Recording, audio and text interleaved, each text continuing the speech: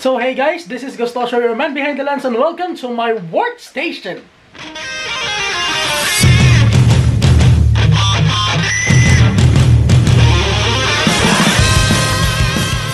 So guys, for this vlog, ipapakita ko sa inyo kung ano yung madalas kong ginagawa which is under nung aming work from home routine sa school na pinagtatrabahuhan ko which is Tagaytay City Science National High School. Actually, gagawa ako ngayon ng video lesson para sa paparating na school year 2020 to 2021. So, I was already on my second lesson which is the methods of philosophizing.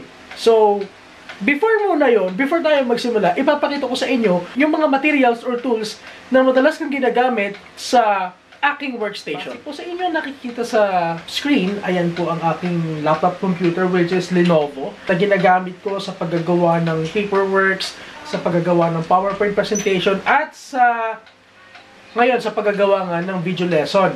Then of course, hindi mawawala ang charger ng aking laptop para in case na malabat yung aking device, ipapansak ko na lang dun sa extension para tuloy-tuloy yung aking pagtatrabaho. Of course, hindi mawawala ang aking external drive or hard drive na kung saan lahat ng mga important files isinisave ko siya as backup na dyan lahat. Paperworks, documents, records, and even some pictures and videos. Of course, nandito rin yung aking headphone. Ginagamit ko siya more particularly para makapag-concentrate ako. And most especially, ginagamit ko rin siya for voice recording na ilalagay ko dun sa aking video lesson para mas maintindihan ng mga estudyante ko kung ano yung aking madalas na ginagawa.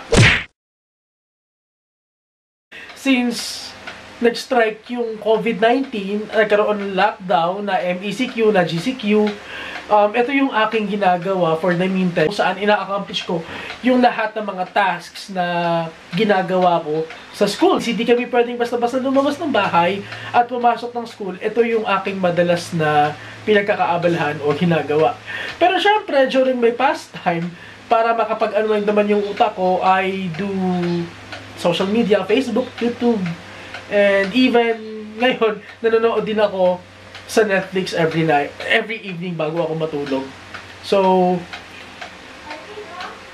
tara, tingnan natin kung ano ginagawa ko sa aking workstation.